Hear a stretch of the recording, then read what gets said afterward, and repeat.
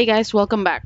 I know the last tutorial was pretty big. It's because I was trying to, uh, I, I did dis- uh, like introduce the whole unit testing for Angular for the first time. So I had to go through how injecting uh, a module goes about and how to inject dependencies in your directive or in your service, in your test, in your spec file. So that's why it took a long time. But with this, with the directive testing, it will be a breeze, sort of. It will be breeze mainly because as you can see the directive codes are really less. They're like just what? Okay, the directive just basically has one function. That's it. I mean, you have nothing else, so uh, the testing is much easier. Okay, so in the directive spec file, uh, I'll just copy over everything from the from the service test because there were some part where some parts are same. For example, the after each part is not same the describe blocks are not same so I'm just going to remove those. Okay. But the injecting part is same uh, except that this is a directive. Uh, we do need the post service because we do the call the post service here. We don't need HTTP backend. Um, do we need oh yeah we need some other variables which we will be discussing later on. We need a controller a directive controller ctrl we need directive control. These are the things i can like we need for sure. Oh sorry we do need the post service. So the post service is there. The http backend is unnecessary. The config uh the config is unnecessary. We don't need the config. And we need the directive control. Now for the the thing that's different for uh, directives is that a directive is basically an extension of an html attribute right? Like posts is a directive. This posts part is a directive. I'm calling it as a directive over my in my main.html file right? This is a directive. It's a html it's like a html attribute right? Html tag.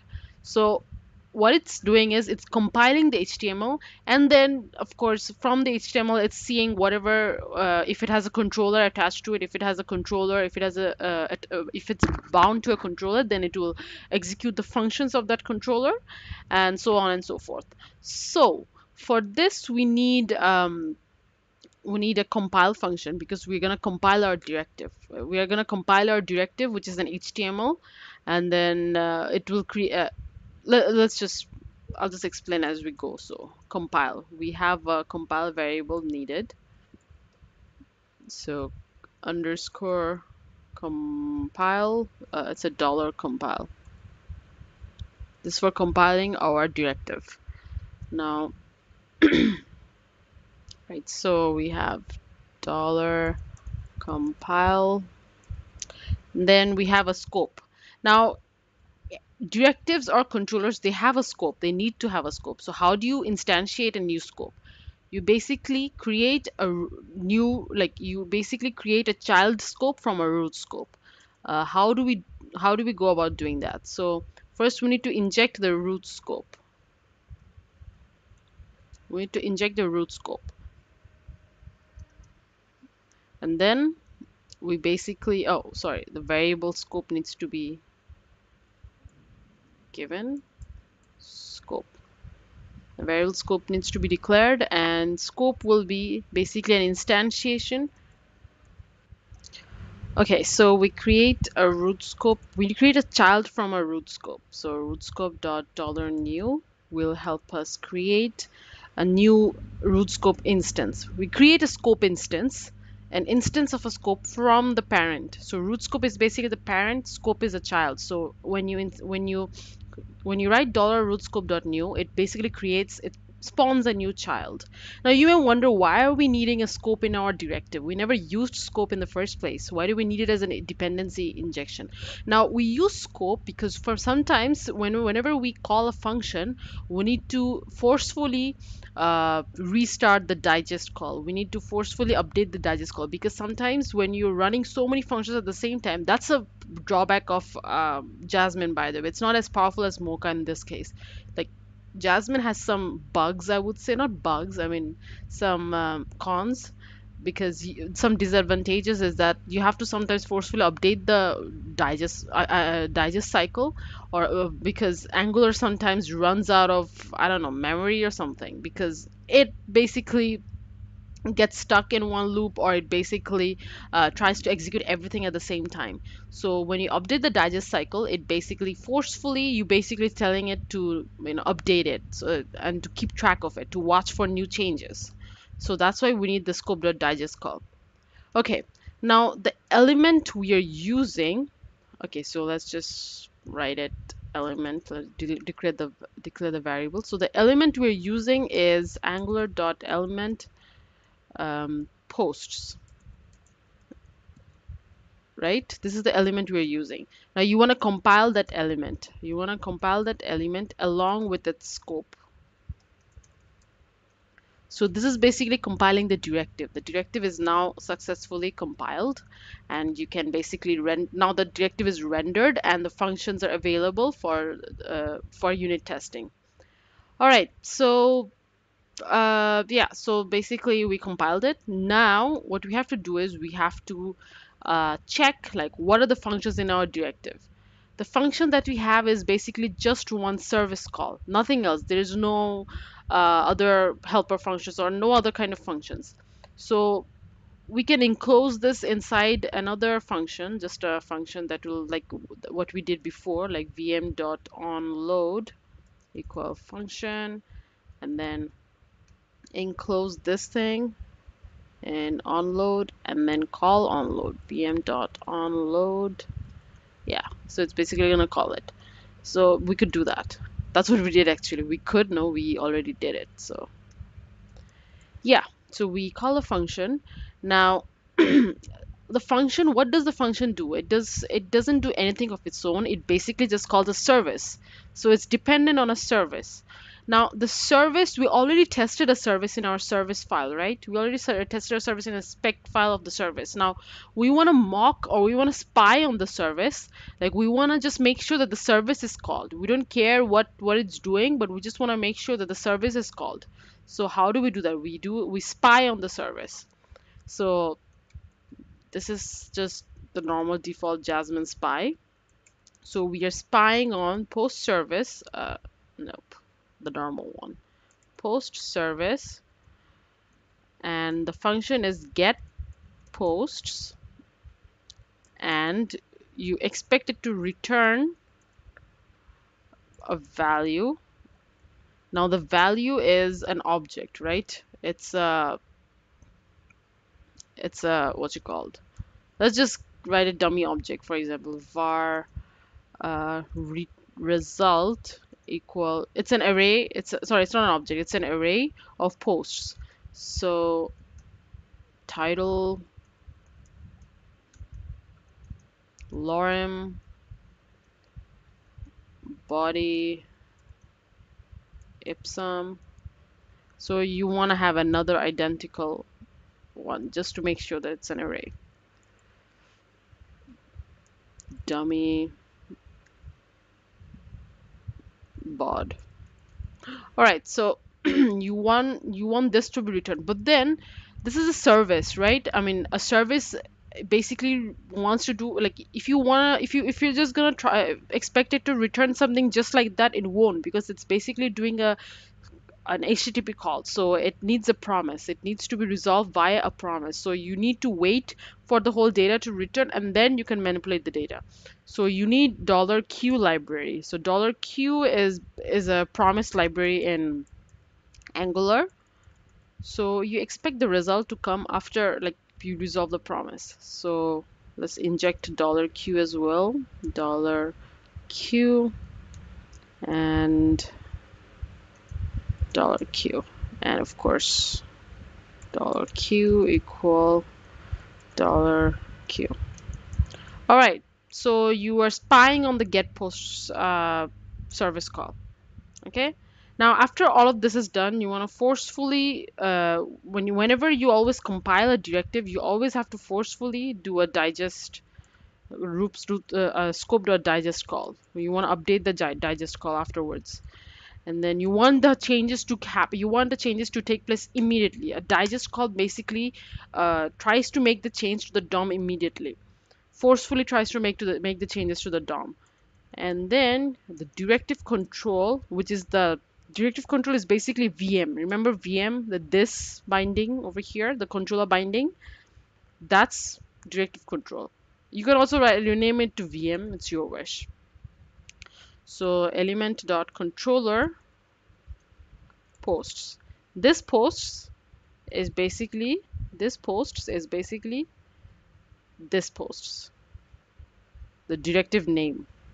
All right so the this is just basically binding the this variable the this keyword to the directive control variable.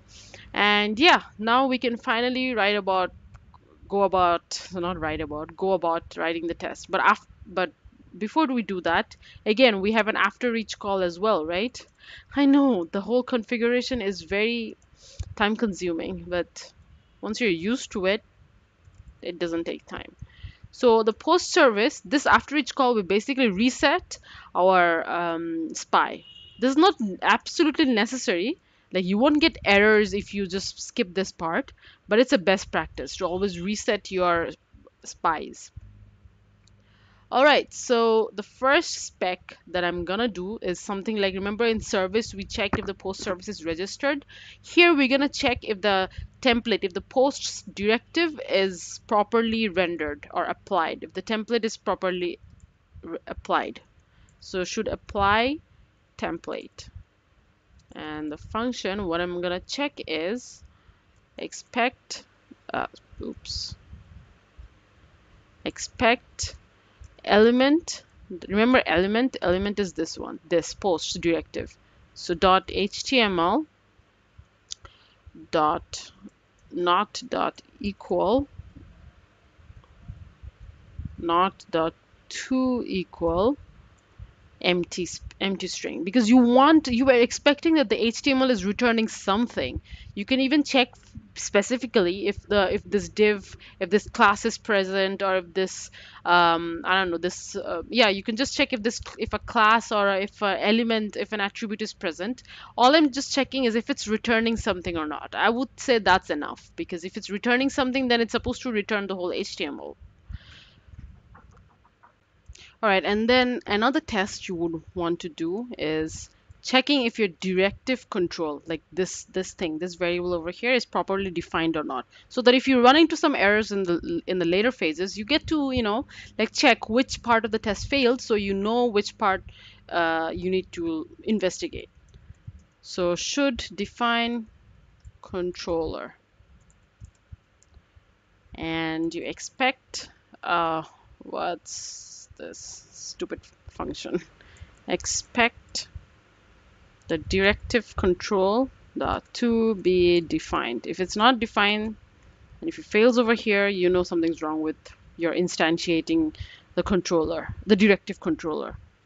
All right, so last test, we want to check describe, we want to check the function on load okay so we basically want to check if the onload function is working properly. What does the onload function do? What do you expect it to do? You expect it to return or fetch posts. And as usual I want to do a done call because of course it's a service call so it's an asynchronous call so you you have an asynchronous callback to it so it's so the done call is necessary. So here all you expect all you do expect is you expect that the post service dot get posts to have been called. This is like the protocol for spies. All spies like whenever you spy on something you expect in a particular function and you expect it to be called. So wait you first you need to call the function of course. So directive control dot onload you call the function and then in that function you expect this to happen.